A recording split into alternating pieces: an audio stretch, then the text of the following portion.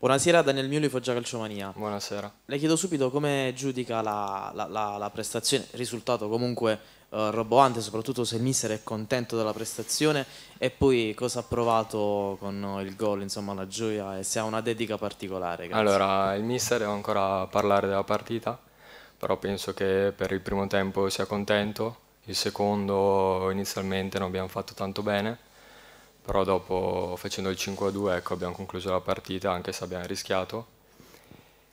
E mm, la seconda domanda? Il gol. Ah, il gol lo dedico alla mia famiglia, ai miei genitori che sono sempre venuti a vedermi ovunque. Quando giocavo a Verona adesso è un pochino più difficile, ma soprattutto lo dedico a mio nonno che gli avevo promesso che il primo gol era per lui. Buonasera Antonio Iammarino, Foggia Calciomania e l'immediato.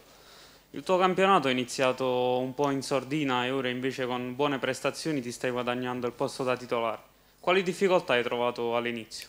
Allora, inizialmente io comunque non ho mai giocato in una prima squadra, venivo da una primavera del Chievo e sono sempre stato abituato a giocare largo, quindi inizialmente il mister voleva gli esterni dentro, ho trovato un po' di difficoltà, però pian piano con gli allenamenti eccetera mi viene più automatico, infatti penso ecco, di farlo meglio rispetto alle prime partite.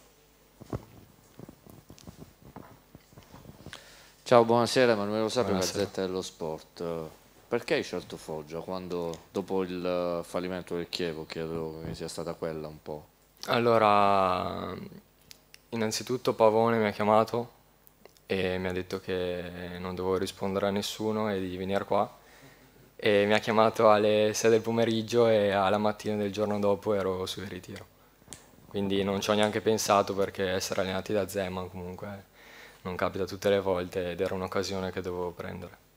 Ecco, proprio il mister ha avuto parole d'elogio per te, per il tuo modo di giocare. Paradossalmente finora come esterno sei quello che è andato meglio, anche eh, rispetto a Merola, rispetto a Di Grazia che poi erano stati presi, erano davanti a te all'inizio. Mm. Sì, diciamo che magari sto andando meglio, no, sto andando come loro, io in allenamento tutti ci alleniamo bene, io visto essendo un giovane comunque guardo molto spesso loro, Merola, Mercai che giocano a destra, ma anche Di Grazia, Curcio, Mari, Rizzo Pinna se gioca esterno, perché da loro devo solo imparare e cerco di prendere ogni minima cosa da loro. Ecco. Prima volta nel 4-3-3 o... No, no, ho sempre giocato nel 4-3-3 o 4-4-2. Cosa vi chiede il mister? Perché un po' di problemi li avete proprio sugli esterni, visto che Ferrante comunque li sta facendo i suoi gol, un po', sì. un po voi siete un po' più a rilento rispetto No, agli esterni comunque chiede di venire dentro, di giocare dentro perché facciamo superiorità numerica come oggi che difendevano inizialmente a 3 e venendo dentro poi possiamo fare molto bene con tagli, palle filtranti e basta. Ecco. Un'ultima cosa, ti chiedo un bilancio di questi primi mesi a Foggia, come la stai vivendo e come... Eh, diciamo che i primi mesi sono stati un po' duri perché è la prima volta che ero lontano da casa, quindi li ho un po' sofferti. Poi mi sono infortunato appena sono arrivato, dopo tre giorni, sono stato fuori un mese, però adesso mi sto trovando bene, abbiamo un bel gruppo, belle persone tutto va bene. Ecco.